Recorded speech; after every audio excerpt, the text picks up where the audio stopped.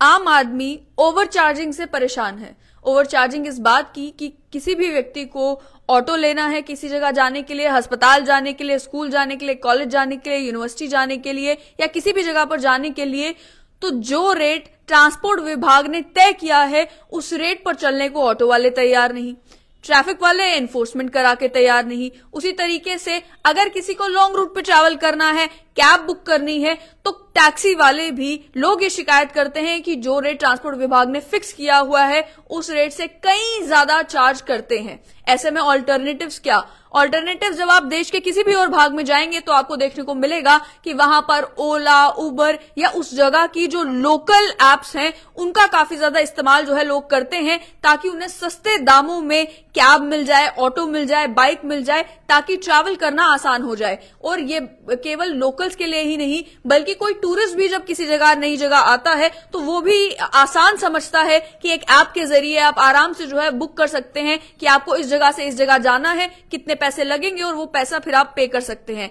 लेकिन जब बात आती है जम्मू कश्मीर की, जम्मू कश्मीर में ना ओला चल रहा है न उबर चल रहा है और जो कुछ एक ऑल्टरनेटिव एप्स चल भी रहे हैं, उनको लेकर भी जब सरकार से मालूम किया जाता है तो मालूम ये चलता है कि एप्स तैयार हैं, लोग तैयार हैं टैक्सी ड्राइवर्स इन सभी एप्स के साथ जुड़े हुए हैं, लेकिन सरकार ने अभी तक अनुमति नहीं दी है कि ये अलग अलग कैब एग्रीगेटर्स जम्मू कश्मीर में फ़ंक्शन कर सकें। चाहे नोवो कैब की बात की जाए, या मैक्सी या फिर मेगा टैक्सी की बात की जाए। मेरे साथ इस समय मेगा टैक्सी के ही जो ओनर हैं, अश्विनी खजूरिया हैं इनसे जानते हैं कि आखिर अड़चन कहाँ पर आ रही है और जहाँ देश के हर एक कोने में आज के टाइम में अलग अलग एप्स के ज़रिए कैब एग्रीगेटर्स के ज़रिए लोगों का आना जाना आसान हो गया है। जम्मू कश्मीर में परेशानी किस बात की है?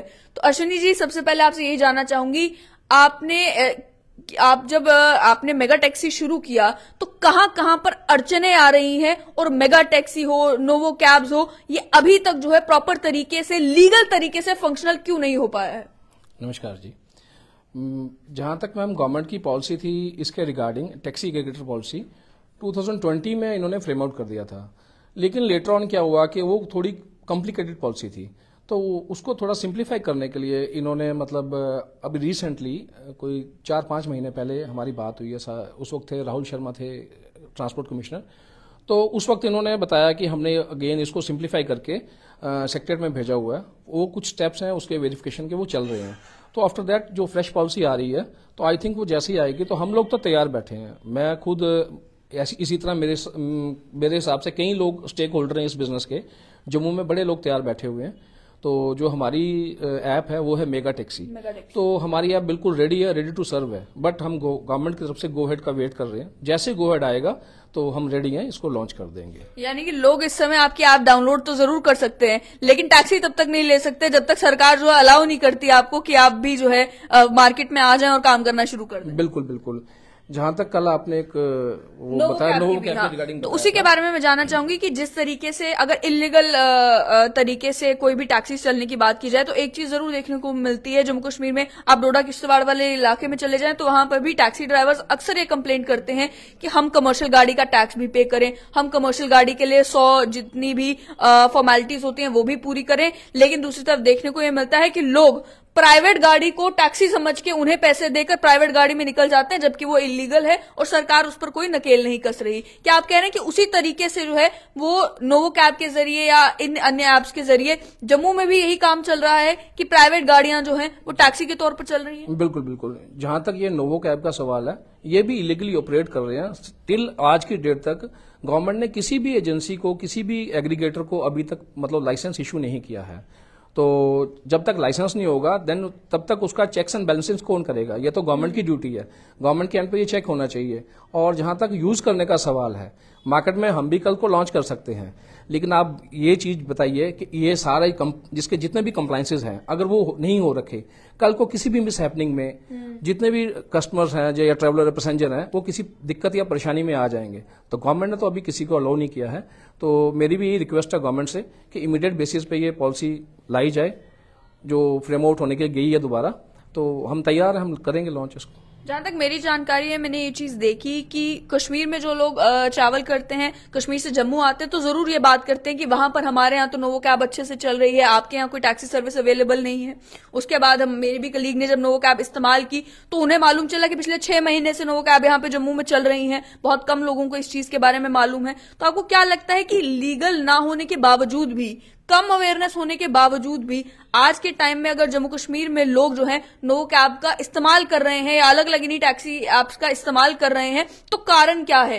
क्योंकि ऑटोज लीगल तरीके से चल रहे हैं, लोग उसमें चलना पसंद नहीं करते कैब्स लीगल तरीके से चल रहे हैं, लोग उसमें चलना पसंद नहीं करते। डिपेंडेंस इन एप्स के ऊपर इलीगल होने के बावजूद भी क्यों बढ़ रही है?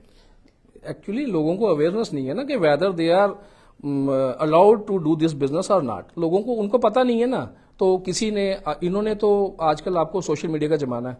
तो सोशल मीडिया से लोग देख रहे हैं, वो अपने आप को प्रमोट भी कर रहे हैं। बट जहाँ तक ऐसे प्रमोट करना विदाउट एनी मतलब लाइसेंस एनी अथॉरिटी वो इलीगल है, उनको नहीं करना चाहिए। उनको साथ मिलके, सबको मिलके, और भी स्टेक होल्डर हैं। मेरे अलावा जम्मू में पाँच सात ऐसे लोग हैं, जो इस पॉलिसी को लेकर तैयार हैं करने के लिए। इवन के जो हमारे यूनियंस हैं, उनका भी बड़ा अच्छा रोल है। उनको भी गवर्नमेंट ने मतलब अलाउ किया था, आप आइए, आप भी करिए। तो वो भी बड़े अच्छे स्टेक होल्डर हैं। ये मिलके अगर सब चलेंगे तो बहुत अच्छी मतलब ये चीज़ चलने वाली है और लोगों को इसका फ़ायदा होगा। आपसे समझना चाहूँगी कि आ, क्या आप मानेंगे कि पहले जब जम्मू कश्मीर में ओ, ये ओला उबर लाने की बात की गई जितने बार भी सरकार की तरफ़ से कहा गया कि यहाँ पर भी कैब एग्रीगेटर्स आएँगे उतनी बार जो है रेजिस्टेंस भी देखने को मिली इन्हीं टैक्सी यूनिट्स की तरफ़ से। क्या उसमें कोई बदलाव आज के समय में आया है? क्या टैक्सी ऑपरेटर्स जो है या ऑटो ऑपरेटर्स जो है उनको समझ में ये बात आना शुरू हुई है कि अगर कैब एग्रीगेटर्स आते हैं तो उससे उनको नुकसान नहीं उनको फ़ायदा होगा? ऐसा कुछ नहीं है। ये नोटिफिकेशन जारी करने से पहले गवर्नमेंट ने सुजेशन और ऑब्जेक्शन के लिए उनको बुलाया था। एक प्लेटफॉर्म पे सबको बिठाया है और उनसे आफ्टर प्रॉपर डिस्कशन उन्होंने ये किया। ऐसा कुछ नहीं है, कोई किसी को मना नहीं कर रहा चलाने के लिए। बट अभी तक ये पॉलिसी जो है, उनके एंड पे रुकी हुई है। वो जैसे आएगी, ये चलेगी। दिक्कत कहाँ पे आ रही है? अड़चन कहाँ पे आ रही है? सरकार से आपकी बातचीत भी होती होगी। आप पूछते भी होंगे क्योंकि जिसका स्टेक होता है उसको इंटरेस्ट भी होता है कि मालूम किया जाए कि कब तक ये चीज़ पॉसिबल हो पाएगी। तो सरकार की तरफ़ भी अड़चन कहाँ पर आ रही है? क्यों ये चीज़ अभी तक पॉसिबल नहीं हो पाई? मैंने पहले ही आपको बताया जो पहली पॉलिसी थी वो काफ़ी मतलब कॉम्प्लेक्स थी। तो उसको सिंप्लीफाई किया है बस उसी एंड पे थोड़ा सा चल रहा है काम।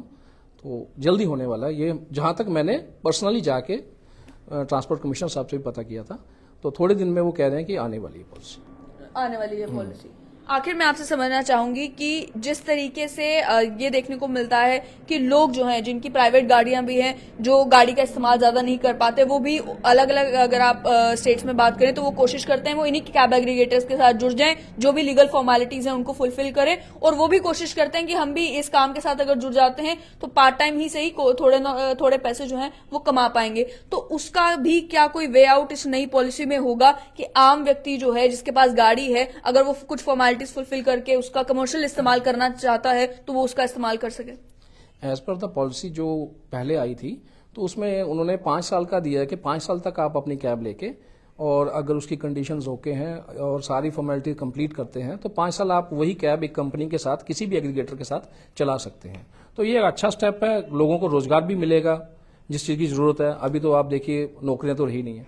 तो छोटा मोटा रोज़गार ये है, ये मिलेगा लोगों को और उसमें ये भी है कि इनको काफ़ी ज़्यादा राइट्स मिलेंगी। हम्म। जैसे आप एज एक कहीं पर्टिकुलर एक स्टैंड पे या पर्टिकुलर कहीं जाके बैठे हैं वहाँ पे आपके पास वॉक इन ही आएँगे। बट ये जो है ये प्लेटफॉर्म सबके पास हाथ में है। आज आपको पता है ये जमाना है आप हाथ से क्लिक करेंगे कहीं बैठ के भी गाड़ी बुक कर लेंगे तो इन हम्म। लोगों को काफ़ी बेनिफिट मिलेगा। इस पॉलिसी में है जो प्रीवियस पॉलिसी थी उसमें यह था आप पाँच साल तक आप अपनी कैब विद किसी एग्रीगेटर के साथ रजिस्टर कर सकते हैं। रजिस्टर कर सकते बिल्कुल और चला सकते हैं। देखना ये होगा कि जहाँ मार्केट में ये तो साम तौर पर मालूम चलता है कि लोग इंतज़ार कर रहे हैं कि इस तरीके का कोई ऑल्टरनेटिव जम्मू कश्मीर में हो, जो देखने को भी मिला कि अगर इलीगल ऑपरेटिंग किसी ऐप का भी इस्तेमाल लोग इतना बढ़ चढ़ कर कर रहे हैं तो उससे ये चीज़ तो प्रूव होती है कि लोगों को ज़रूरत है कि ओला उबर या उसका कोई ऑल्टरनेटिव जम्मू कश्मीर में हो, जिसका इस्तेमाल लोग कर सके। वहीं जैसा इन्होंने बताया कि चाहे टैक्सी यूनियंस हो ऑटो रिक्शा यूनियंस हो, उनके साथ भी एक ही टेबल पर बैठकर सरकार ने बातचीत की है, उसके बाद जाकर लाकर एक पॉलिसी फ्रेम की जा रही है, जिसमें कैब एग्रीगेटर्स को इजाज़त दी जाए कि वो अलग अलग कैब्स को अपने साथ जो है रजिस्टर कर सके और उसके बाद जम्मू कश्मीर में अलग अलग एप्स के ज़रिए ये ट्रैवलिंग जो है उसे आसान कर सके। लेकिन देखना ये होगा कि इतने, इतना समय बीत जाने के बाद भी अड़चन आखिर कहाँ पर आ रही है? अगर सरकार को ये चीज़ मालूम है कि इस तरीके से लोग तैयार बैठे हैं स्टेक होल्डर्स तैयार बैठे हैं, कुछ टैक्सी ऑपरेटर्स तो ऑपरेट भी करना शुरू हो गए हैं तो पॉलिसी जल्द लाने में फ़ायदा सरकार का भी है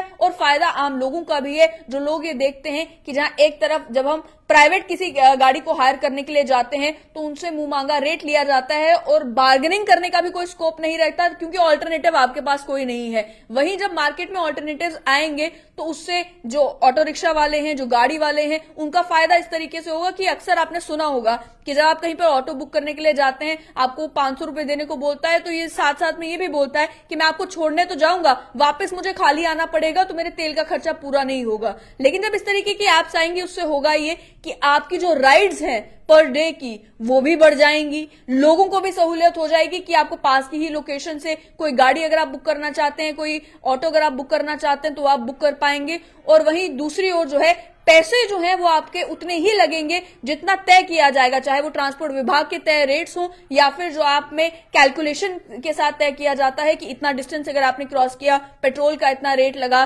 ड्राइवर का इतना बीच में उतना कट होगा, उसके बाद ऐप कितनी कमीशन लेगा, वो सारा मिलाकर जो है एक जेनुअन सा रेट जो है वो एक आम आदमी को पे करना पड़ेगा। देखना यह होगा कि सरकार कब तक पॉलिसी लेकर आती है और इजाज़त देती है कि अलग अलग कैब एग्रीगेटर्स जम्मू कश्मीर में चलना शुरू कर सकें।